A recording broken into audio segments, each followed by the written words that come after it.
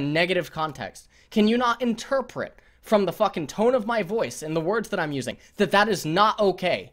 Do you need me to fucking say it to you directly? You are a fucking idiot for playing this many unique champions. You are a fucking idiot for playing so many different champions and not getting the hint that, huh, maybe I should just stick to playing a few champions.